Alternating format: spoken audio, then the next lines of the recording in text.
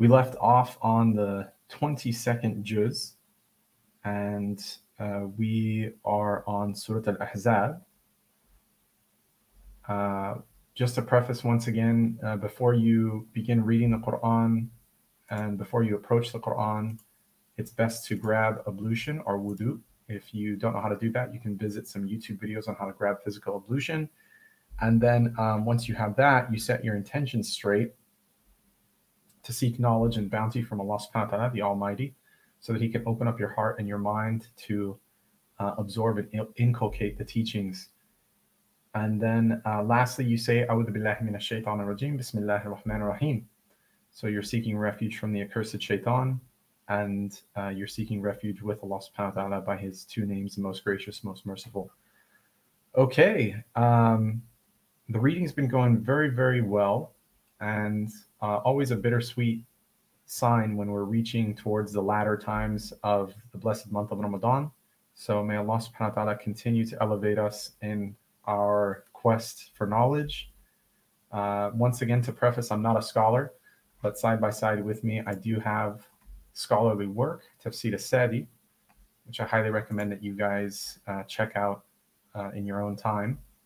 So we go to the tafsir to expand upon some of the knowledge from scholarship, and uh, that way that we can uh, build upon the things that we know. So again, these are my own personal reflections. It's not an opinion on the Quran uh, whatsoever, because uh, you need to have a, a, quite a serious qualification in order to get there.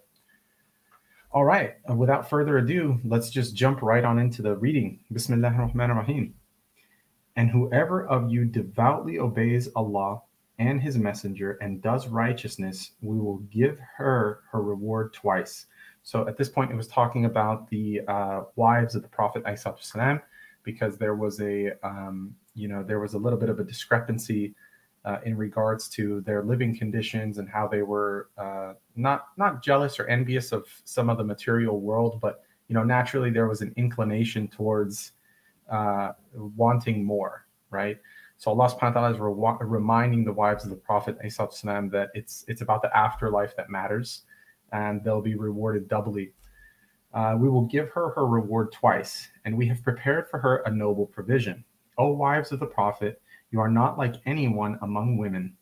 If you fear Allah, then do not be soft in speech to men, lest he in whose heart is disease should covet, but speak with appropriate speech meaning you can stand firm on your guard in regards to your privacy, in regards to um, who you let near within your inner circle, and to what capacity. And abide in your houses and do not display yourselves as was the display of the former times of ignorance. Uh, and during the times of Jahiliyyah, the times of ignorance, women would basically be wearing nothing and they, they would be open breasted as well. And establish prayer and give zakat and obey Allah and His Messenger. Sallallahu Alaihi Wasallam. Allah intends only to remove from you the impurity of sin, O people of the Prophet's household, and to purify you with extensive purification. And remember what is recited in your houses of the verses of Allah and wisdom. Indeed, Allah is ever subtle and aware. Indeed, the Muslim men and Muslim women, the believing men and believing women, the obedient men and the obedient women, the truthful men and the truthful women, the patient men and the patient women, the humble men and the humble women, the charitable men and the charitable women, the fasting men and the fasting women, the men who guard their private parts and the women who do so, and the men who remember Allah often and the women who do so. For them, Allah has prepared forgiveness and a great reward. And now, this is just a further attestation that it's not about whether you're male or female that's important. Rather, what's important is uh, your piety and your commitment to Allah subhanahu wa ta'ala. So, you know, when there's this whole uh, question about equality and all this so on, uh, women, when, men and women are equal in the sight of Allah subhanahu wa ta'ala in regards to their piety, which is most important. But in regards to physical characteristics, responsibilities, uh, and so on, we are not equal in that sense, right? And naturally so. Uh, it is not for a believing man or a believing woman when Allah and his messenger have decided a matter that they should thereafter have any choice about their affair. And whoever disobeys Allah and his messenger has certainly strayed in clear error. And remember, O Muhammad وسلم, when you said to the one whom Allah bestowed favor and you bestowed favor, keep your wife and fear Allah, while you concealed within yourself that which Allah is to disclose. And you fear the people, uh, while Allah has more right that you fear Him. So when Zayd had no longer any need for her, we married her to you in order that there not be upon the believers any discomfort, i.e., guilt, concerning the wives of their claimed, i.e., adopted sons, when they no longer have needed uh, have need of them. And ever is the command, i.e., decree of Allah accomplished. Now, mind you, uh, the Prophet was a form of guidance uh, in every aspect, right? So he was used as an example, especially when people were in a state of uh, confusion, especially when um, they needed clarification on certain things. So let's go ahead and check out the tafsir on this just to gain some deeper insights. So this is ayah number 37. And we'll see what uh, Sadi has to say about this. So, the reason for revelation of these verses was that Allah wanted to prescribe a law that was applicable to all believers, which was that adopted sons do not come under the same ruling as real sons in all ways, and that there was no blame on who on, on those who had adopted them if they married their ex-wives. This was something that was commonly practiced and could not be abolished except through a major event. So Allah subhanahu wa ta'ala wanted this law to be demonstrated by his messenger sallallahu in word and deed. When Allah wills something, he ordains a cause for it. Zayd ibn Haritha was formerly called Zayd ibn Muhammad because the Prophet ﷺ had adopted him. So he was called after him until the words call them adopted sons after their real fathers. And that's in Surah Al-Ahzab, the chapter that we're reading, and that is in uh, chapter 33, 5 were revealed, after which he was called Zayd ibn Haritha. He was married to Zainab bin Jahsh, uh, radiallahu anha. May Allah subhanahu wa ta'ala be pleased with her, the daughter of the paternal aunt of the Messenger sallallahu alayhi wasallam. It had occurred to the Messenger sallallahu alayhi wasallam that if Zayd divorced her, he would marry her. Then Allah decreed that there should be some problem, uh, that there should be some problem between her and Zayd that caused Zayd ibn Haritha to come to the Prophet ﷺ and ask his permission to divorce her. And remember when you, O Muhammad, وسلم, said to him, on whom Allah had conferred favor of faith by guiding him to Islam, and you too had conferred favor of manumission by setting him free when he came to consult you about divorcing her, you said to him, advising him and telling him of that which was in his best interests, even though you wish that you could marry her. Keep your wife, that is, do not divorce her, and be patient with her attitude towards you, and fear Allah with regard to your affairs in general and with regard to your wife in particular, for fearing Allah encourages and enjoins one to be patient. You concealed in your heart that which Allah was going to disclose. What he concealed was the fact that if Zayd divorced her, he would have married her. You feared the criticism of the people, and that is why you did not disclose what was in your heart. But it was more fitting that you should fear Allah and not pay attention to people. When Zayd had completed the necessary formalities of divorce from her and her iddah had ended, we gave her to you in marriage. That is the basically the waiting period. So just in case if there's any pregnancy or something to that extent, right? We only did that to serve a great purpose, which was so that there would not be any restrictions on the believers with regard to marrying the ex-wives of their adopted sons, because they would have uh, seen you marry the ex-wife of Zayd ibn Haritha, who who had previously been called your son because the words, so that there would not be any restrictions on the believers with regard to marrying the ex wives of their adopted sons, are general in meaning and are applicable to all situations, but there may be some cases in which that is not permissible, which is before the necessary formalities of divorce had been completed. These general terms are restricted by the following phrase after they have completed the necessary formalities of divorce from them and their iddah has ended and the decree of Allah is bound to be fulfilled. That is, it must inevitably come to pass, and no one can stand in the way. We learn a number of things from these verses which mention this story, including the following. Allah praised Zayd ibn Haritha on two accounts. Firstly, Allah mentioned him by name in the Quran, and he did not mention any other Sahabi by name. Secondly, Allah told him that he had conferred favor upon him, namely the blessing of Islam and faith. This is a testimony from Allah that he was a Muslim and a believer, both outwardly and inwardly.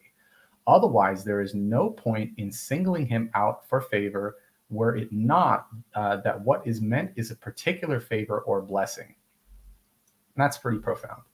The one who is manumitted owes it to the one who manumitted him. It is permissible to marry the ex wife of one's adopted son, as it is clearly stated here. Practical teaching is more effective than verbal teaching, especially if it is also accompanied by words, for that is light upon light. Having love in one's heart for someone other than one's wife or concubine, so long as it is not accompanied by any prohibited action, is not a sin, even if it is accompanied by wishes for the husband to divorce her so that one may marry her without making any effort to cause separation between them or being the cause of trouble because Allah stated that the Messenger وسلم, was concealing that in his heart.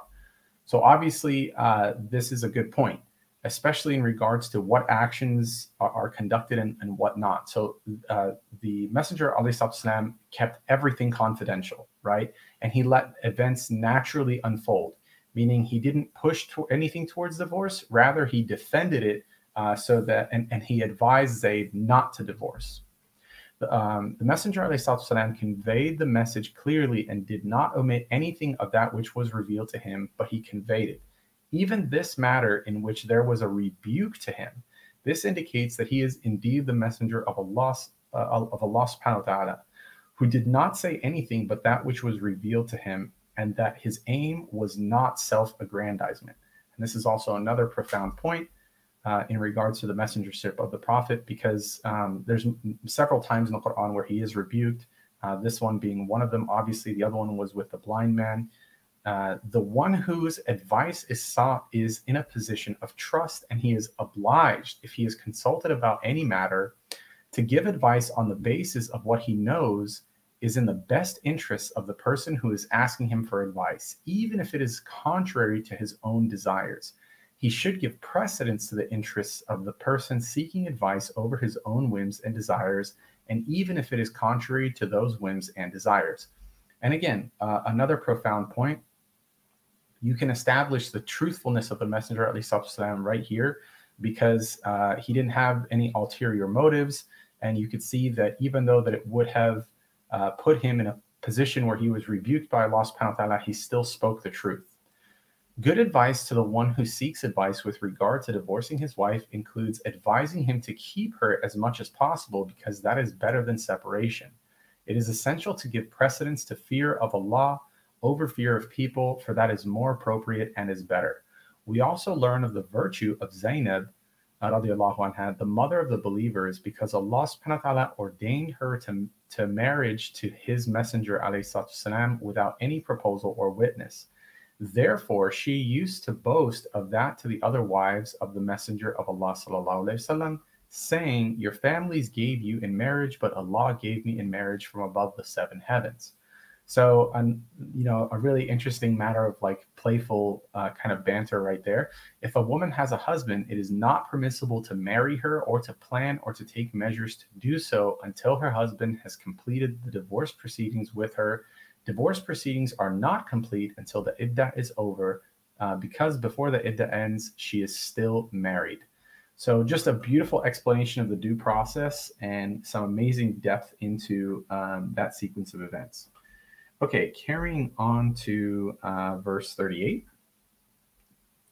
There is not to be upon the prophet any discomfort concerning that which Allah has imposed upon him this is the established way of Allah with those prophets who have passed on before, and ever is the command of Allah a destiny decreed.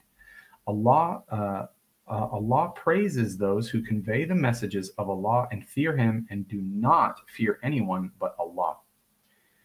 Uh, and sufficient is Allah as accountant. Muhammad is not the father of any one of your men, but he is the messenger of Allah and seal, i.e., last of the prophets.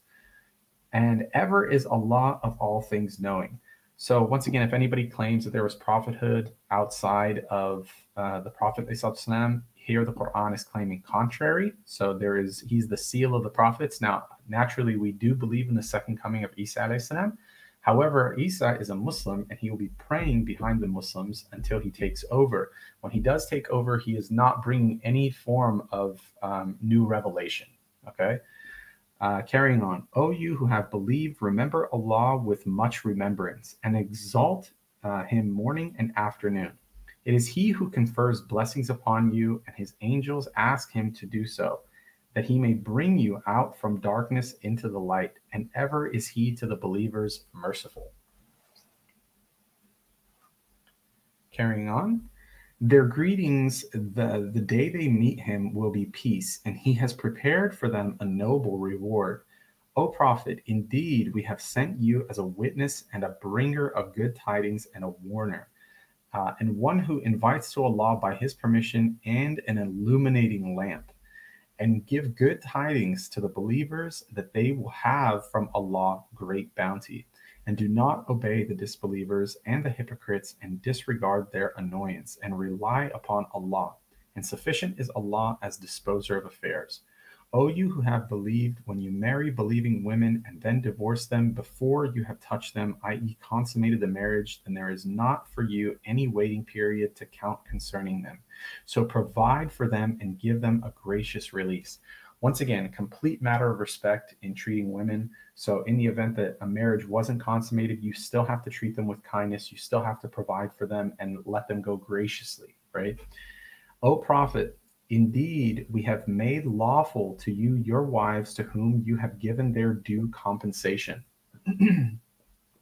and those your right hand possesses from what Allah has returned to you of captives, and the daughters of your paternal uncles, and the daughters of your paternal aunts, and the daughters of your maternal uncles, and the daughters of your maternal aunts who emigrated with you, and a believing woman, if she gives herself to the Prophet and if the prophet wishes to marry her. This is only for you, excluding the other believers. We certainly know what we have made obligatory upon them concerning their wives and those uh, their right hands possess. But this is for you, in order that there will be upon you no discomfort, i.e., difficulty, and ever is Allah forgiving and merciful. So there's argument from uh, the opposing sides in regards to why is it that uh, Muslims are limited to four wives, but the Prophet Islam has had more, and it's for this is actually addressed completely in the Quran. I'm going to head over to Asadi so he can give us some depth into it.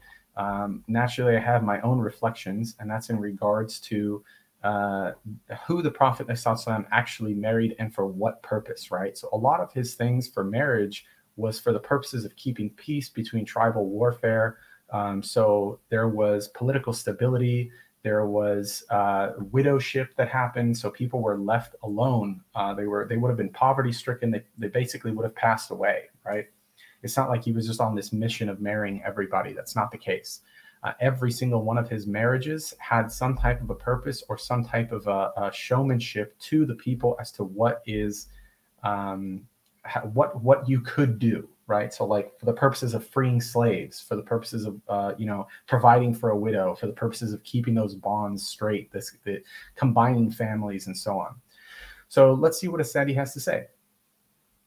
Here allah subhanahu wa ta'ala reminds his messenger of his favor with regard to what he has permitted to him both the things that he has in common with the believers and things that are for him alone O prophet, we have made lawful for you your wives, whom uh, whose dowries you have paid. This is something that he has in common with the believers, because in like manner Allah has made lawful for them their wives, to whom they have given their dowries. Likewise, we have made lawful for you any slave woman you may own from among the captives of war, whom Allah has bestowed upon you. Among the booty seized from the disbelievers, such as their slaves and free individuals who were captured, whether they had husbands or did not this is something else that was common to both him and the believers. Another category that was common to both him and to the believers was daughters of your paternal uncles, daughters of your paternal aunts, daughters of your maternal uncles, daughters of your maternal aunts. The words translated here as paternal uncles, paternal aunts, maternal uncles, and maternal aunts also include those that are described in English as great uncles and great aunts. So, what is meant is that the daughters of the great uncles and the great aunts are also permissible for marriage. These are the only women who are permissible. From this meaning, it is understood that all relatives other than these are not permissible, as was explained in Surah An-Nisa. Therefore, no female relatives are permissible in marriage except these four. All others, descendants and ascendants, and descendants of one's mother and father, no matter how far the line of descent reaches, and descendants of one's grandparents are not permissible. And that's pretty profound, especially when it comes to um, genetic issues, right? Who migrated to Medina with you? This limits permissibility to those women who migrated with the Messenger, salam, which is the correct interpretation of this verse. And we have made permissible for you a believing woman if she offers herself to the prophet for marriage without a, dowry, simply by virtue of her offering herself. If the prophet wishes to marry her, that is, it is subject to his choice. That is exclusively for you, O Muhammad sallallahu alaihi wasallam, not for the rest of the believers. That is, it is permissible for you to marry a woman who offers herself in marriage as for the believers, it is not permissible for them to marry a woman just because she offers herself to them in marriage. We know what we have stipulated for them with regard to their marriages to free women and with regard to any slave woman they may own. That is, we know what is required for the believers, what is permissible for them, and what is not permissible for them of wives and slave women, and we have taught them and explained the rulings concerning that Whatever is mentioned in this verse that appears to be contrary to that is only for you, O Prophet, وسلم, because Allah has made it addressed to the Messenger, والسلام, only as He said, O Prophet, we have made lawful for you. The phrase that is exclusively for you, O Muhammad, not for the rest of the believers, means we have permitted to you, O Prophet, وسلم, what we have not permitted to them, and we have given to you more leeway than we have given to others, so that there may be no constraints upon you. This is part of the great care that Allah subhanahu wa ta'ala showed to his messenger, and, and Allah is uh, forgiving, most merciful. That is, He has always been forgiving and merciful, bestowing upon his slaves his forgiveness and mercy, generosity and kindness as dictated by his wisdom uh, when they take the appropriate measures that led to forgiveness. Um, it carries on in verse 51. Uh, in this verse, Allah tells his prophet that he is not obliged to share his time equally amongst his wives. The fact that he continued to share his time equally amongst them, even though he was not obliged to do so, uh, would be appreciated by his wives and they would therefore feel content. And that's from Arazi. Uh, there's also another footnote. Um, let me see if I'm missing a hadith first. All hadiths in this text have been checked and verified by the uh, IIPH's researchers. It is rare, but it does happen uh, that a hadith is not verifiable within the time frame of researching and editing the book. In that case, a decision is made by the editorial board as to whether or not to include the hadith. It is IIPH's policy not to include weak hadiths or fabricated hadiths in our publications. If a weak hadith is included in any text, it is only because the author of the book discusses it as a weak hadith. So um, there's a reference to a hadith earlier on. Uh, so let me read this.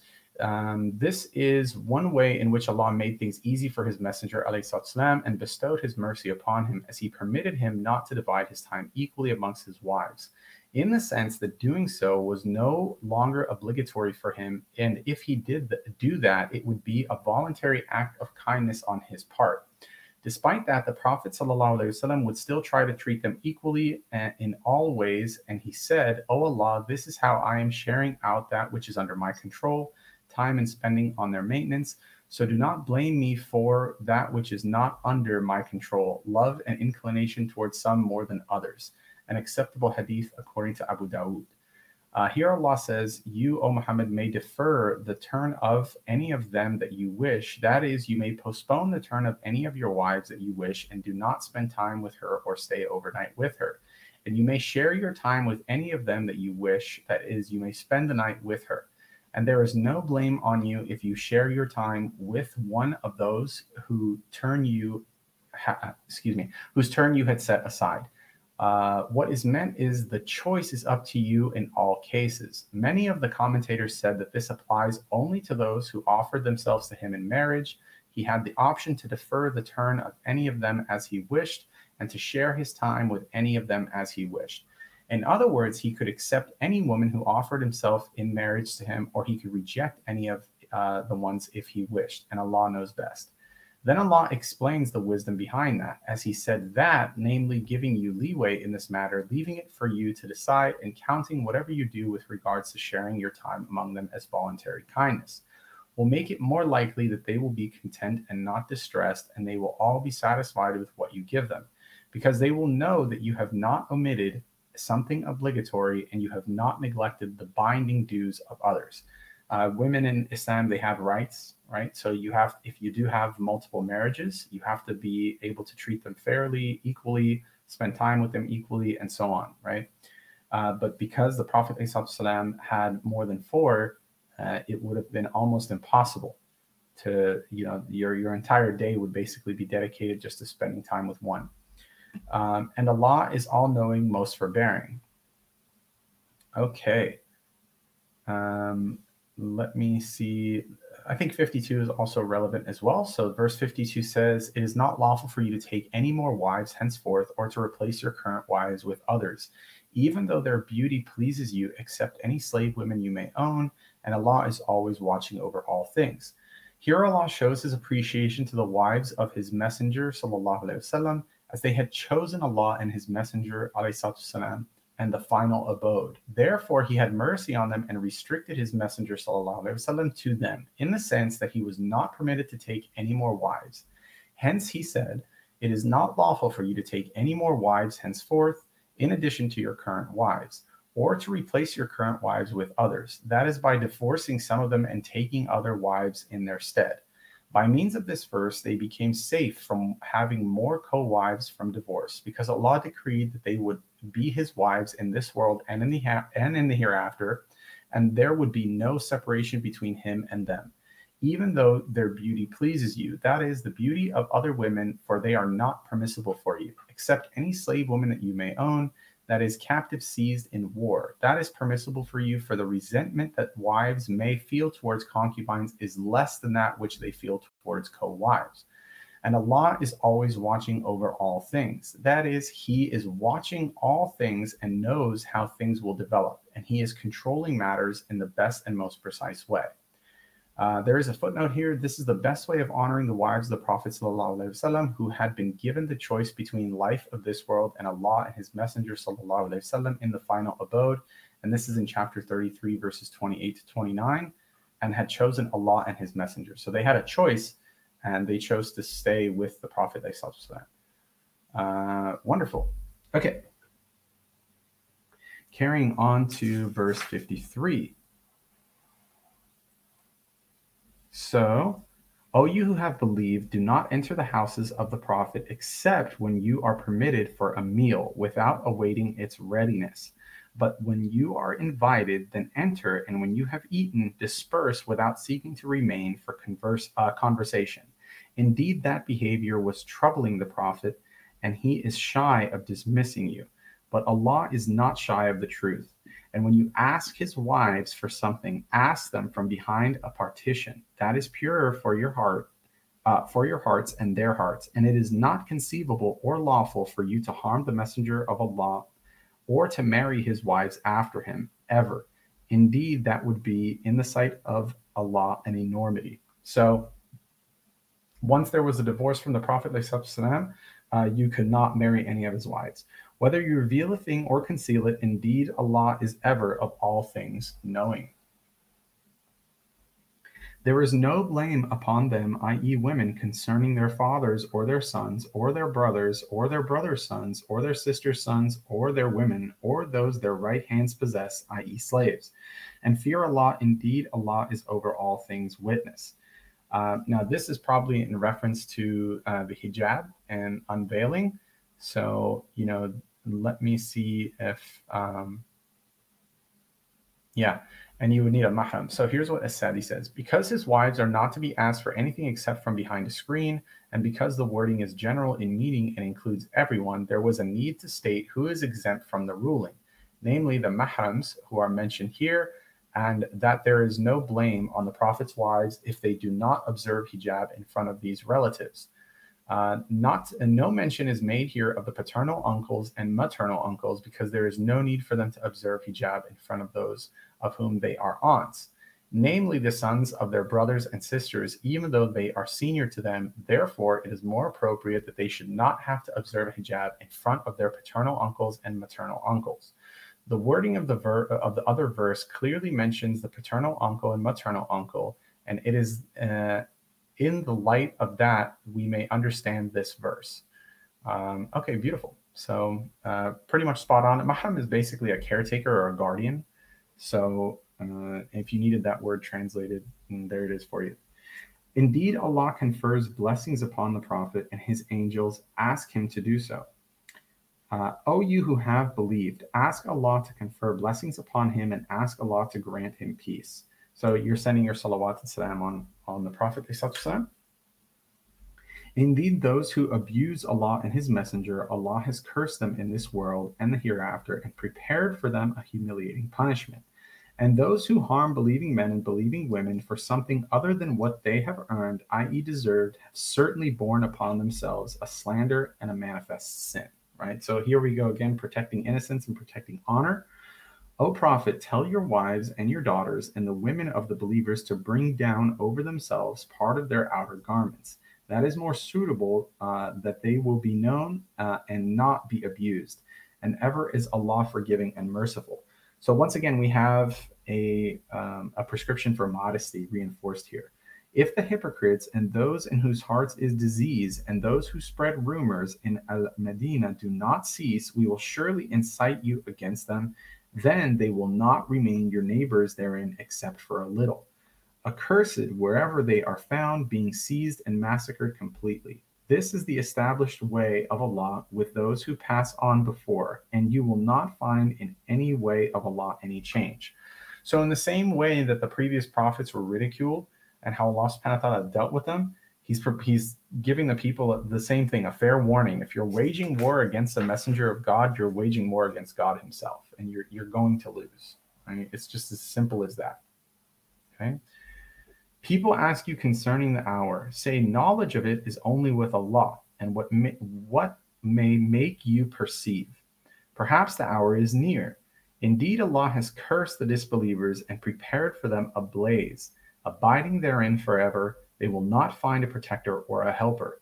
The day their faces will be turned about in the fire, they will say, How we wish we had obeyed Allah and obeyed the Messenger. And they will say, Our Lord, indeed we obeyed our masters and our dignitaries, and they led us astray from the right way. Now, uh, you know, upon personal reflection in modern day times, these are basically like your politicians and leaders. So if they are laxed about certain things, like, hey, yeah, you can drink at 21, but Allah subhanahu wa ta'ala now says you cannot drink, uh, and you're choosing to obey the dignitaries, and you know, that's not the way to go, right? Our Lord give them double the punishment and curse them with a great curse. O you who have believed, be not like those who abused Moses. Then Allah cleared him of what they said, and he, in the sight of Allah, was distinguished. O you who have believed, fear Allah and speak words of appropriate justice. He will then amend for you your deeds and forgive you your sins, and whoever obeys Allah and His Messenger has certainly attained a great attainment. Indeed, we offer the trust to the heavens and the earth and the mountains, and they declined uh, to bear it. Uh, uh, heavens and the mountains, and they declined to bear it and feared it, but man undertook it uh, to to bear it. Uh, indeed, he has unjust. Uh, indeed, he was unjust and ignorant, meaning it was a big undertaking, right? It was so that Allah may punish the hypocrite men and hypocrite women, and the men and women who associate others with Him, and that Allah may accept repentance from the believing men and the believing women, and ever is Allah forgiving and merciful. So, now, interestingly enough, here in regards to um, the ignorance of man and taking on this burden, right? Uh, remember, Allah subhanahu wa ta'ala tells us He's not going to give us something that we can't bear. So he, we can bear this. We just need His help uh, and His guidance to get through the test. And then He reminds us of what the test is about. So this burden, this whole thing, uh, this challenge that we took on so ignorantly, it's to weed out the, the frauds. Okay, that does conclude that chapter. Carrying on to Surat Saba. Uh, Bismillah ar-Rahman ar-Rahim. All praise is due to Allah, to whom belongs whatever is in the heavens and whatever is in the earth, and to him belongs all praise in the hereafter. And he is the wise, the aware. He knows what penetrates into the earth and what emerges from it, and what descends from the heaven and what ascends therein. And he is the merciful, the forgiving. Uh, but those who disbelieve say, The hour will not come to us. Say, Yes, by my Lord, it will surely come to you from the knower of the unseen.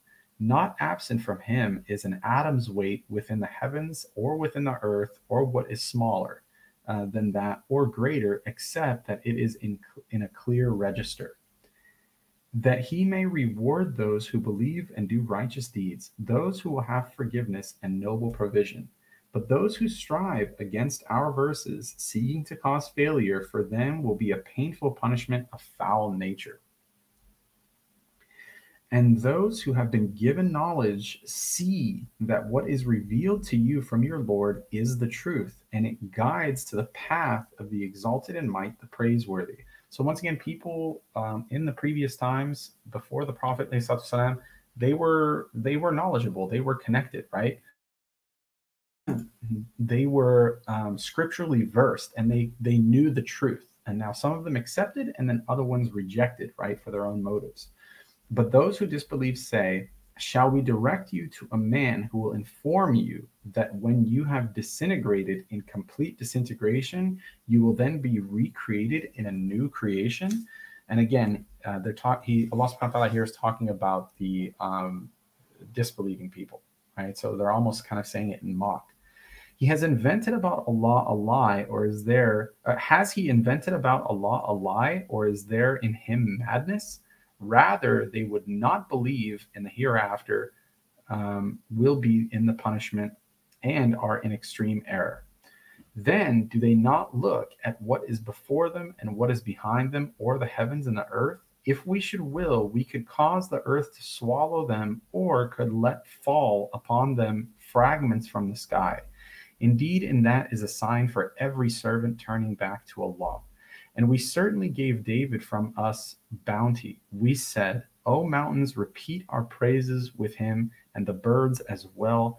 And we made pliable for him iron, commanding him, Make full coats of mail and calculate precisely the links and work all of your righteousness. Indeed, I of what you do am seeing.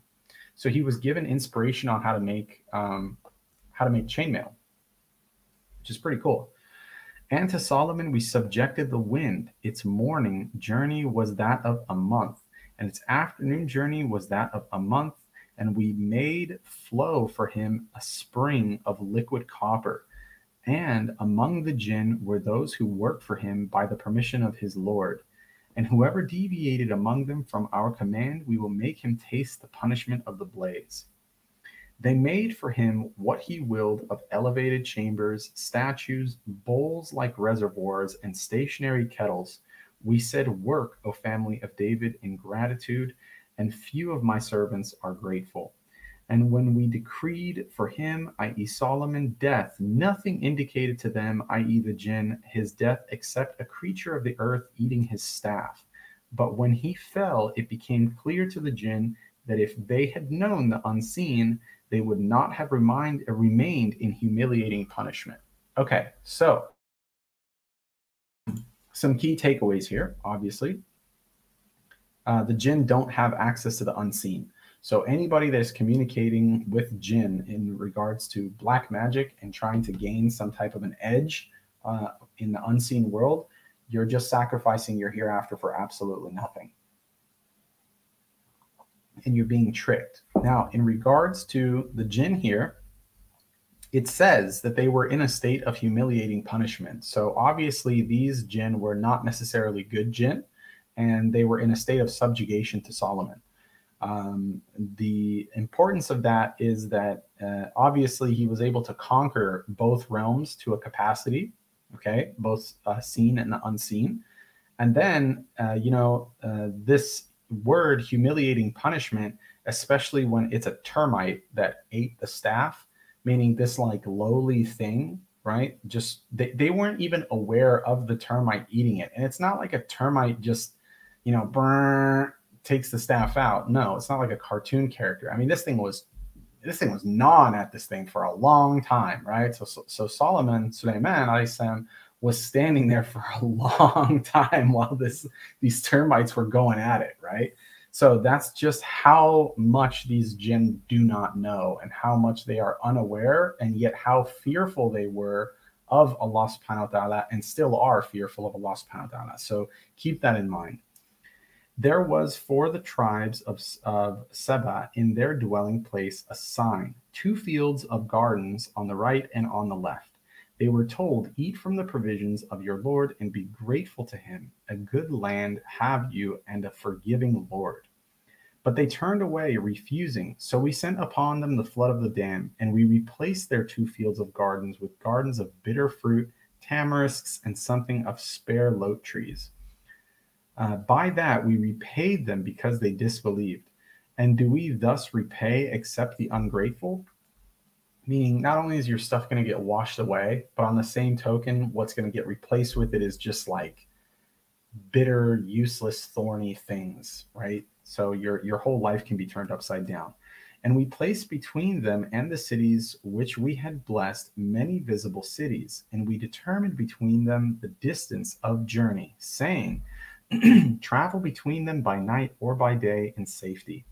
But insolently they said, Our Lord lengthened the distance between our journey and wronged themselves. So we made them narrations and dispersed them in total dispersion. Indeed, in that are signs for everyone patient and grateful. Uh, definitely worth checking out the tafsir here for verse number 19, just to gain some additional context. So let's see. Uh, let's see what we can find here. What kind of insights uh, Sadi can give us. Okay. Saba was a well-known tribe near Yemen. Their homeland was a region called Marib. One of the favors and kindness that Allah bestowed upon people in general and the Arabs in particular was that in the Quran, He told the stories of nation who were nations who were doomed and punished who had lived in the vicinity of the Arabs and whose ruins could be seen, and people were familiar with their stories, which they told to one another. That made it easier for the people to believe these stories and made them more effective as a reminder. Hence, Allah said, There was a sign for the people of Seba in their dwelling place. That is the place where they lived. The sign in this case was that uh, what Allah had bestowed upon them of blessings and what He had warded off from them of calamities. That required them to worship Allah alone and give thanks to Him. then he explained what the sign was two gardens, one on the right and one on the left. They had a great valley that received a lot of rainfall, which resulted in abundant streams, springs, and so on. And they had built a strong dam in order to collect the water. So when the rains came, they would gather a huge amount of water, which they would distribute to their gardens, which were on the right and on the left of that valley. Those two huge gardens yielded fruits and crops that sufficed them and brought them a great deal of joy. Hence, Allah commanded them to give thanks for the many blessings that He had bestowed upon them, including the following those two gardens that provided most of their food. Allah made their land bountiful because of its good climate which was not unhealthy, and because of the bountiful provision that the land produced, Allah promised them if they showed gratitude to Him, He would forgive them and He have and have mercy on them. Hence He said, Bountiful is your Lord, and oft forgiving is your Lord. Because Allah knew that for their trade and livelihood they needed to reach a blessed land, what appears to be the case is that it was uh, the outskirts of Sana'a which was the view of more than one of the early generations, although it was also suggested that it was Asham, which is greater Syria. He proposed for them, uh, he, excuse me, he prepared for them the means that helped them to reach that land with ease and safely uh, with no fear. There was a chain of towns between them and that land, so that they did not need to go to the trouble of carrying provisions and supplies with them as they traveled. Hence, Allah says, Between them and the cities which had blessed, uh, which we had blessed, we placed a chain of towns within the sight of one another, and we made the distances between them convenient for the travelers. That is the distance that they knew well and could plan their journey accordingly so that they would not lose their way. Travel through them by night and day in safety, that is, safe and secure during those nights and days, not fearing anything. This was part of the perfect blessing that Allah bestowed upon them, which is that He made them safe from fear. But they turned away from the bestower of those blessings, and from worshiping Him alone, they took the blessings for granted and got bored of it to the extent that they wished that the distances between those two towns, between which travel was easy, would be longer. And they wronged themselves thereby by disbelieving in Allah and being ungrateful for His blessings. Hence, Allah subhanahu wa ta'ala punished them by taking away and destroying the blessings that had made from them uh, that had made them arrogant. He sent against them a severe flood that destroyed their dam and ruined their gardens. Hence, those gardens that had been filled with beautiful plants and fruit bearing trees were destroyed and replaced with trees in which there was no benefit. Allah says, and replaced their two gardens with two others yielding bitter fruit, that is, something that produced little food and was not sufficient to meet their needs, and tamarisk and a few wild lote trees. All of these are well known trees which match their misdeeds. Just as they replaced gratitude with ingratitude, those blessings were replaced with the things mentioned. Hence, Allah says, Thus we punish them for their ingratitude. Would we punish any but those who are ungrateful? That is, would we requite in the sense of punishing any but those who are ungrateful to Allah and make His blessings for uh, and take His blessings for granted? Uh, when the punishment befell them, they scattered in all directions after having been all together. And Allah made their story that was told a tale to be told at night. They became an example and a proverb wh- whereby people would say they scattered like Seba. And everyone would talk about what happened to them. But no one learned a lesson from them except those whom Allah referred to when He said, Surely in that there is a sign for every steadfastly patient and deeply thankful person who bears with patience the hardships and difficulties that he endures for the sake of Allah and does not show discontent. Rather, he bears it with patience and gratefully acknowledges the blessings of Allah subhanahu wa ta'ala, praising the one who bestowed them and uses them in obedience to him. If such a person hears their story, how they acted, and what happened to them, he realizes that this punishment was requital for their ingratitude for Allah's blessings, and that whoever acts like them will meet the same fate. And he will realize that gratitude to Allah uh, subhanahu wa ta'ala protects the blessings and wards off punishment, and that the Messenger of Allah told the truth, and that the requital is true, as he has seen examples of it in this world. Then Allah tells us that the people of Seba were among those concerning whom Iblis found his expectations to be correct when he said to his Lord, By your might, I will certainly mislead them all except your chosen and sincere slaves among them. And that's in Surah Sad, uh, which is chapter 38, 82 to 83. So we're, we're, um, we're coming close to that chapter.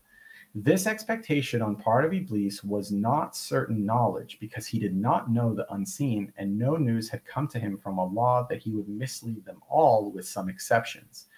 These people and others like them were among those concerning whom he found his expectations to be correct, whom he called and tempted, for they all followed him except for a group of believers, who were among those who were not ungrateful for blessings of Allah they were not included in these expectations of Iblis. It may be that the story of Seba ends with the words, Surely in that there are signs for every steadfast, patient, and deeply thankful person. Then a new idea begins with the words, Iblis found his expectations confirming, confirming that, concerning them to be correct, referring to humanity as a whole, in which case the verse is general in meaning and refers to everyone who follows Iblis. Then Allah subhanahu wa ta'ala says, But he, namely Iblis, had no authority over them.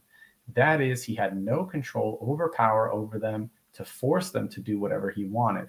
But the divine wisdom decreed that he should have some power and influence over the children of Adam, except what was given to him for the purposes that we might distinguish those who believe in the hereafter from those who are in doubt about it. That is, so that there would be a test, and it might be known who is sincere and who is lying, who is faith, whose faith is real and steadfast in the face of trials and tests. When devilish, uh, spe- spacious arguments are put forth, whose faith is not steadfast and will be shaken by the slightest spacious argument and will falter at the merest call to the opposition. Allah subhanahu wa ta'ala has made this a test by means of which he tries his slaves and distinguishes the bad from the good. So, just uh, a wonderful explanation by Sadi. Uh, so, let's bring it back and carry on. Uh, Bismillah. Uh, okay, carrying on. And we uh, here we are. But insolently they said, Our Lord lengthen our distance between our journey and wronged themselves, so we made them narrations and dispersed them in total dispersion. Indeed, in that are signs for everyone patient and grateful. So now, you know, they became a, a figure of speech, right? Uh, and Iblis had already confirmed through them his assumptions. So they followed him except for a party of believers, and he had over them no authority except it was decreed that we might make evident who believes in the hereafter from who is thereof in doubt. And your Lord over all things is guardian. Say, O Muhammad wasallam, invoke those you claim as deities besides Allah. They do not possess an atom's weight of ability in the heavens or on the earth, and they do not have therein any partnership with him, nor is there for him from among them any assistant.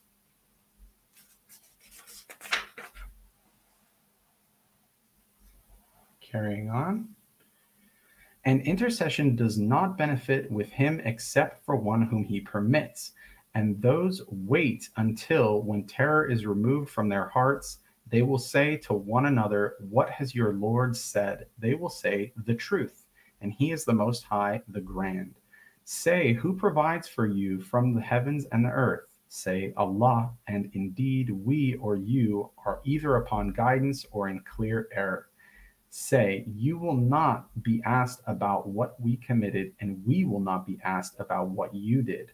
Say, Our Lord will bring us together, then he will judge between us in truth, and he is the knowing judge. Say, Show me those whom you have attached to him as partners. No, rather, he alone is Allah, the exalted in might, the wise. And we have not sent you except comprehensively to mankind as a bringer of good tidings and a warner, but most of the people do not know. And they say, When is this promise if you should be truthful? Say, For you is the appointment of a day when you will not remain thereafter an hour, nor will you precede it. And those who disbelieve say, We will never believe in this Quran, nor in that before it. But if you could see when the wrongdoers are made to stand before their Lord, refuting each other's words, those who were oppressed will say to those who were arrogant, If not for you, we would have been believers. Now, interestingly enough, uh, any single time, any single time, there is a reference to a uh, uh, the here the, the day of judgment. Allah subhanahu always says something to the extent of you're not going to remain a moment after the time. So don't focus on there being, you know, when is that coming? Know that it's it's coming and there's no turning back. You you have no way forward or backward, right? So he keeps shifting your attention onto what's important and the things that you can change, the matters that you can focus on to better prepare for that. Everything else is just useless because it's it's a certainty right? Those who are arrogant will say to those who are oppressed, Did we avert you from guidance after it had come to you? Rather, you were criminals. Those who were oppressed will say to those who were arrogant, Rather, it was your conspiracy of night and day when you are ordering us to disbelieve in Allah and attribute to Him equals. But they will all confide regrets when they see the punishment, and we will put shackles on the necks of those who disbelieved. Will they be recompensed except for what they used to do? mean, no injustice is going to befall them. They're going to get exactly what they deserve. And we did not send into a city any warner except that its affluent said, Indeed, we in that with which you were sent are disbelievers. And remember, the Prophet ﷺ preferred to be with people of poverty, right? Um, and, and he said how difficult it would be for, for affluence to get into paradise. So uh, notice how Allah subhanahu wa ta'ala says that it was always the affluent who rejected, right? And they said, We are more than the believers in wealth and children, and we are not to be punished. Meaning uh, they have started becoming super boastful, super arrogant, right? We're, we're good. Um, we can take care of ourselves. And it is not your wealth or your children that brings you nearer to us in position, but it is by being one who has believed and done righteousness. For them, there will be the double reward for what they did, and they will be in the upper chambers of paradise, safe and secure. And the ones who strive against our verses to cause them failure, those will be brought into the punishment to remain. Say, Indeed, my Lord extends provision for whom he wills of his servants and restricts it from, from him. But whatever thing you spend in his cause, he will compensate it, and he is the best of providers. And once again, remember zakat, charity is spending in the cause of Allah subhanahu wa ta'ala. So uh, the Quran is continually encouraging you to uh, be charitable. And mention the day when he will gather them all and then say to them, the angels, Did these people used to worship you? They will say, Exalted are you, O Allah. Uh, our only benefactor, excluding, i.e., not them. Rather, they used to worship the jinn. Most of them were believers in them. So we have um, people that worship angels, and we also have people that worship the jinn. And, it, you know, everyone's going to get questioned. And everyone's going to get questioned.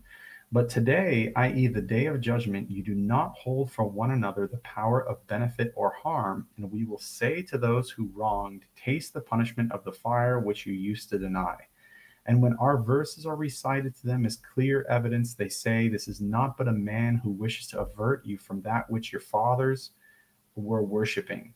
And they say, This is not except a lie invented.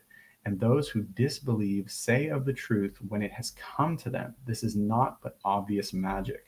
So, all these different excuses, but take a reflective position right now. Nothing has changed, just the presentation of these same excuses. And we had not given them any scripture which they could study, and we had not sent to them before you, O Muhammad وسلم, any warner. And those before them denied, and they, i.e., the people of Mecca, have not attained a tenth of what we had given them. But they, i.e., the former peoples, denied my messengers. So how terrible was my reproach! Say, I only advise you of one thing that you stand for Allah, seeking truth in pairs and individually, then give thought. There is not in your companion any madness. He is only a warner to you before a severe punishment. Say, whatever payment I might ask of you, it is yours. My payment is only from Allah, and He is over all things witness. Say, indeed, my Lord projects the truth, knower of the unseen. Say the truth has come and falsehood can neither begin anything nor repeat it. Say, if you should err, I would only err, against myself, but if I am guided, it is by what my Lord reveals to me. Indeed, he is hearing and near. And if you could see when they are terrified, but there is no escape, and they would be seized from a place nearby. And they will then say, We believe in it but how far for them will be the taking of faith from a place far away? And they had already disbelieved in it before and would assault the unseen from a place far away. And prevention will be placed between uh, them and what they desire, as was done with their kind before. Indeed, they were in disquieting doubt, aka denial. Uh, wonderful. So that does conclude Surat Saba. Next up is Surah Fatir. So, Bismillah ar-Rahman ar-Rahim.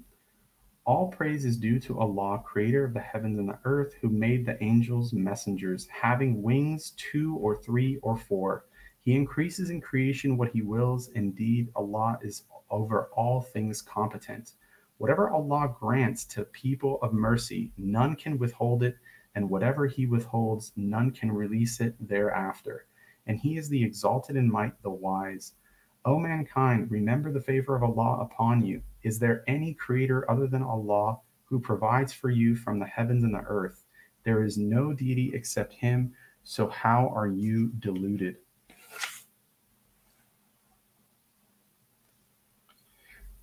And if they deny you, O Muhammad وسلم, already were messengers denied before you, and to Allah are returning all matters. O mankind, indeed the promise of Allah is true. So let not the worldly life delude you, and be not deceived about Allah by the deceiver, i.e., Satan.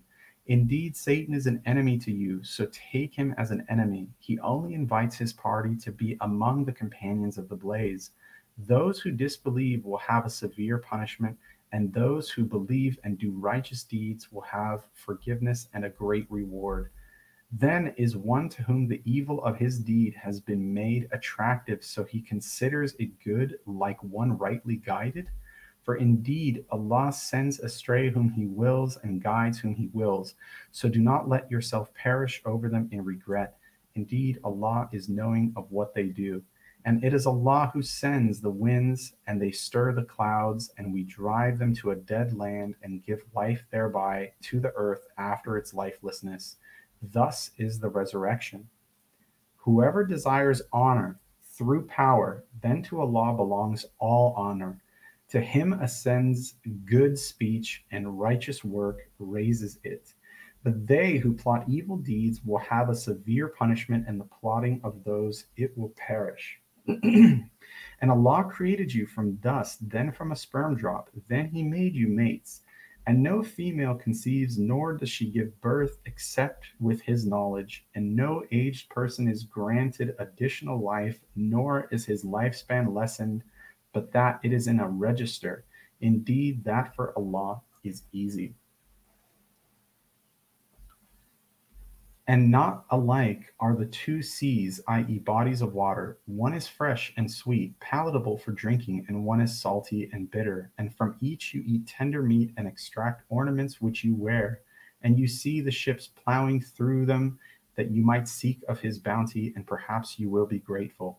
He causes the night to enter the day, and he causes the day to enter the night, and has subjected the sun and the moon, each running its course for a specified term that is Allah, your Lord. To him belongs sovereignty, and those whom you uh, invoke other than him do not possess as much as the membrane of a date seed.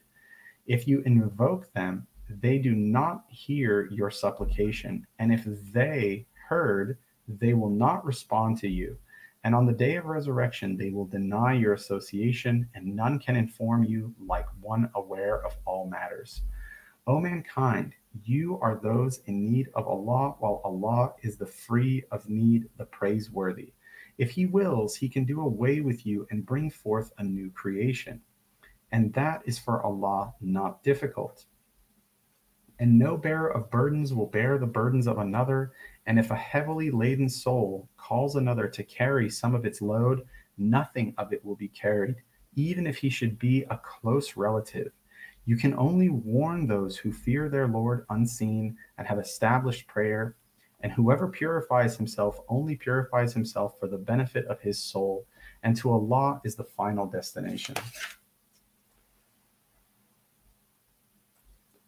Not equal are the blind and the seeing, nor are the darkness and the light, nor are the shade and the heat, and not equal are the living and the dead Indeed, Allah causes to hear whom He wills, but He cannot, uh, but you cannot make hear those in the graves. You, O Muhammad wasallam, are not but a warner. Indeed, we have sent you with the truth as a bringer of good tidings and a warner, and there has no nation but that there had passed within it a warner. And if they deny you, then already have those before them denied. Their messengers come to them with clear proofs and written ordinances and with the enlightened scripture.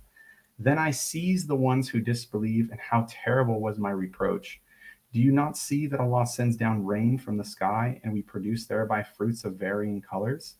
And in the mountains are tracts, white and red of varying shades, and some extremely black. And among people and moving creatures and grazing livestock are various colors similarly. Only those who uh, only those fear Allah from among his servants who have knowledge. Indeed, Allah is exalted in might and forgiving. Indeed, those who recite the book of Allah and establish prayer and spend in His cause out of what we have provided them secretly and publicly can expect a transaction, i.e., profit, that will never perish that he may give them in full their reward and increase for them of his bounty. Indeed, he is forgiving and appreciative. And that which we have revealed to you, O Muhammad وسلم, of the book is the truth, confirming what was before it. Indeed, Allah of his servants is aware and seeing. Then we cause to inherit the book those we have chosen of our servants, and among them is he who wrongs himself, i.e., sins, and among them is he who is moderate, and among them is he who is foremost in good deeds by permission of Allah. That inheritance is what is the great bounty. So we should all be seeking that inheritance. Alhamdulillah, you know, we're sitting here reading the, the book of Allah subhanahu wa ta'ala and seeking that inheritance. So may Allah subhanahu wa ta'ala accept our efforts and increase us.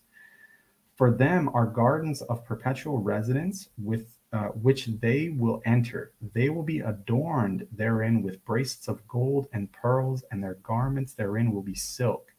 And they will say, Praise to Allah, whom has removed from us all sorrow. Indeed, our Lord is forgiving and appreciative. He who has settled us in the home of duration, i.e., paradise, out of his bounty, there touches us not in it any fatigue and there touches us not in it uh, wariness of mind. And for those who disbelieve will be the fire of hell. Death is not decreed for them, so they may die. Nor, uh, so, so they may die, nor will its torment be lightened for them. Thus do we recompense every ungrateful one. Uh, and they will cry out therein, Our Lord, remove us we will do righteousness and other than what we were doing. But did we not grant you life long uh, enough for whoever would remember therein to remember, and the warner had come to you? So taste the punishment, for there is not for the wrongdoers any helper.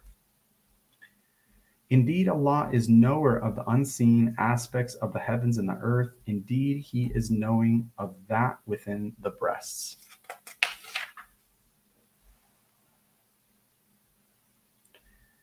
It is he who has made you successors upon the earth, and whoever disbelieves, upon him will be the consequence of his disbelief, and the disbelief of the disbelievers does not increase them in the sight of their Lord except in hatred, and the disbelief of the disbelievers does not increase them except in loss.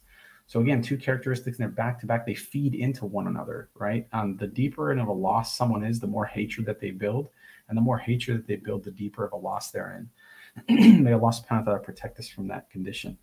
Say, have you considered your partners whom you invoke besides Allah? Show me what they have created from the earth, or have they partnership with him in the heavens? Or have we given them a book so that they are standing on evidence therefrom? No. Rather, the wrongdoers do not promise each other except delusion. Indeed, Allah holds the heavens and the earth lest they cease. And if they should cease, no one could hold them in place after him. Indeed, he is forbearing and forgiving. And they swore by Allah their strongest oaths, oaths that if a warner came to them, they would be more guided than any one of the previous nations. But when a warner came to them, it did not increase them in, except in aversion due to arrogance in the land and plotting of evil, but the evil plot does not encompass except its own people. Then do they await except the way, i.e., fate of the former peoples? But you will never find in the way, i.e., established method of Allah, any change, and you will never find in the way of Allah any alteration. Meaning the, the remedy is staying the same, right? It's, it's completely staying the same. Have they not traveled through the land and observed how was the end of those before them? And they were greater than them in power, but Allah is not to be caused failure, i.e., prevented by anything in the heavens or on the earth. Indeed, he is ever knowing and competent. And if Allah were to impose blame on the people for what they have earned, he would not leave upon uh, it, i.e., the earth, any creature, but he defers them for a specified term. And when their time comes, then indeed Allah has ever been of his servants seen. Beautiful. Uh, that concludes uh, Surah Al Fatir. Next up, we have Surah Yasin. So it begins Bismillah ar-Rahman ar-Rahim, uh, Yasin, by the wise Quran. Indeed, you, O Muhammad wasallam, are from among the messengers on a straight path. This is a revelation of the exalted in might, the merciful, that you may warn a people whose forefathers were not warned, so they are unaware. Already the word, i.e., decree, has come into effect upon most of them, so they do not believe. Indeed, we have put shackles on their necks, and they are to their chins. So they are uh, with heads kept aloft, meaning they're, they're, they're walking very proudly. They're filled with pride. Um, and we have put before them a barrier and behind them a barrier and covered them so they do not see. And it is all the same for them whether you warn them or do not warn them, they will not believe. You, and you can only warn one who follows the message and fears the most merciful unseen. So give him good tidings of forgiveness and a noble reward. Indeed, it is we who bring the dead to life and record what they put forth and what they left behind, and all things we have enumerated in a clear register.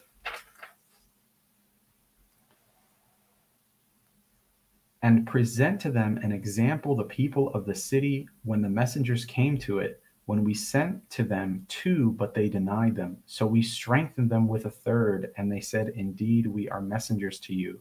They said you are not but human beings like us and the most merciful has not revealed a thing. You are only telling lies. Now, let's take a look at the tafsir of this just to give us some additional context because I, I think that there is indeed a, um, a golden nugget here for us. So uh, this is verse 14.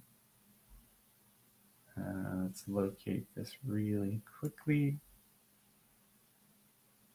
Okay, great. Present to them the example of the people of the city when the messengers came to it. That is, give an example to these people who rejected your message and your call, from which they may learn a lesson, in which you may be uh, exhortate, uh, in which you may be an exhortation from which they may benefit if Allah so wills. That example is the people of the city and what happened to them with the punishment when they rejected the messengers of Allah. If there was any benefit in identifying the city in question, Allah would have identified it. Discussing that and similar issues comes under the heading of wasting time and effort and speaking without knowledge. Hence, if anyone speaks of such matters, you will find him speculating and saying confusing and contradicting things that do not lead to any conclusion. If you see anyone doing that, you should realize that the path to sound knowledge is to be content with the facts and turn away from discussing that which is of no benefit. So once once again, Allah subhanahu wa ta'ala is providing an example, but seeking anything um, in depth that he doesn't provide, uh, right? Unless it's like historically known, is following pure conjecture, right? And that can cause deviation. Thus, the seeker of knowledge will remain, uh, will maintain purity of heart, and his knowledge will increase. This is in contrast to the ignorant person who thinks that his knowledge will increase by referring to views and ideas that have no basis of proof and are of no benefit. And in fact, they will only lead to confusion and distraction and leave one open to accepting doubtful matters. The point is that Allah mentions this city by way of example to those addressed here, namely the Quraysh. When the messengers came to it from Allah to command them to worship Allah alone and devote their worship solely to Him, and to forbid them to ascribe partners to Him and commit sins. Um, When we sent two messengers to them, they rejected them, so we supported them with a third. That is, we strengthened them with a third, so they became three messengers as a sign of Allah's care for the people of that city, and so as to establish clear proof by the coming of the messengers one after another. They said to the people, Verily, we have been sent to you as messengers. But the people responded in a manner that is still well known among those who reject the call of the messengers. The, mess- uh, the people said, You are but human beings like ourselves. That is what makes you better than us. And why were you chosen to be messengers instead of us? The messengers said to their nation, Indeed, we are but human beings like yourself, but Allah bestows his favor upon whom he wills of his slaves. And the most gracious has not sent down any revelation. In other words, they denied the accept the concept of a message from Allah. Then they rejected the ones to whom they were speaking and said, You are simply lying.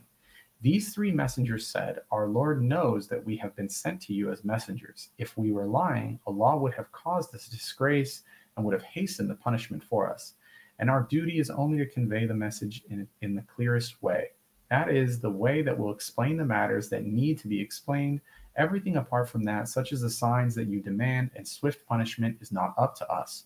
Rather, what is required of us, which is to convey the message clearly, we have done and we have explained it to you. If you are guided, then that is your good fortune. But if you are misguided, then it is uh, nothing to do with us. So, pretty profound here because I was actually um, seeking to, to see if there was additional detail in regards to the city. Uh, but, uh, you know, how I said that there's a golden nugget. The golden nugget happened to be to the contrary, which is don't seek beyond what's necessary, right? So, alhamdulillah, that's exactly what that golden nugget was. Okay. Um, and we are not, uh, so this, they said, Our Lord knows that we are messengers, uh, we are messengers to you, and we are not responsible except for clear notification. They said, Indeed, we consider you a bad omen. If you do not desist, we will surely stone you, and there will surely touch you from us a painful punishment. They said, Your omens, i.e., fate, is with yourselves. Is it because you were reminded? Rather, you are a transgressing people. And there came from the farthest end of the city a man running. He said, O my people, follow the messengers. Follow those who do not ask of you any payment, and they are rightly guided. Now, once again, here it mentions an unknown man. And um, let's see what, what Asadi has to say. So, a man came rushing from the farthest part of the city, keen to advise his people when he heard the messengers calling them to and he believed in it, realizing what his people's response to them was. Hence he said to them, O my people, follow the messenger. He instructed them and advised them to follow them and testified that they were indeed messengers. So not only was there three messengers, but there was an attestation from their very own town of a man running. Okay. Um, interesting. Uh, now go, he uh, Asadi goes on to say, uh, after that attestation, follow those who ask no recompense of you. That is, follow those who give you advice that will bring you good and who do not want your wealth or any recompense for advising you and guiding you, for this makes it incumbent upon you to follow those who are like it. Um, there is only one argument left, which is the idea that perhaps a messenger may call people and not ask any recompense for that, but he is not calling to the truth. So he warded off this notion by saying, and who are rightly guided. So notice the choice of words uh, that this uh, runner had stated, right? So um, carrying on, he says, because they were only calling to something of which sound reason testifies to its beauty and goodness, and they were not forbidding anything of which sound reason does not testify to its ugliness and badness. It is as if his people had not accepted his advice, rather, they began to criticize him for following the messengers and worshiping Allah alone. Therefore, he said, Why should I not worship him who created me and whom uh, you will be brought back? That is, what is there to prevent me from worshiping the one who is truly deserving of worship because he is the one who originated me, created me, granted me provision, and to him is the return of all creatures? Then he will requite them for their deeds. Um, you know, uh, pretty profound, right? Especially when it call uh, when it, it's in regards to like false prophets and needing that additional reinforcement. Okay, carrying on. Um, follow those who do not ask of you any payment, and they are rightly guided. And why should I not worship he who created me and to whom you will be returned? Should I take other than him false deities, while if the most merciful intends for me some uh, adversity, their intercession will not avail me at all, nor can they save me? So this person that was running was like pretty knowledgeable and very well informed, right? Indeed, I would then be in manifest error. Indeed, I have believed in your Lord, so listen to me. It was said, Enter paradise. He said, I wish my people could know of how my Lord has forgiven me and placed me among those honored. Man, okay, so inshallah, when when we all get to Jannah, uh, we could find out who this person is because he was a person that was guaranteed paradise, but we don't know who he is, right? SubhanAllah. Okay, um, this does conclude the 22nd juz. So I'm going to finish the reading by saying, Ashhadu an la ilaha illallah wa ashhadu anna Muhammadan Rasulullah. Allahumma salli ala Sayyidina wa Habibina Muhammad wa ala ali wa sahbihi Muhammad. كما صليت على إبراهيم وعلى آل وأصحاب إبراهيم في العالمين إنك حميد مجيد اللهم بارك على سيدنا وحبيبنا محمد وعلى آل وأصحاب محمد كما باركت على إبراهيم وعلى آل وأصحاب إبراهيم في العالمين إنك حميد مجيد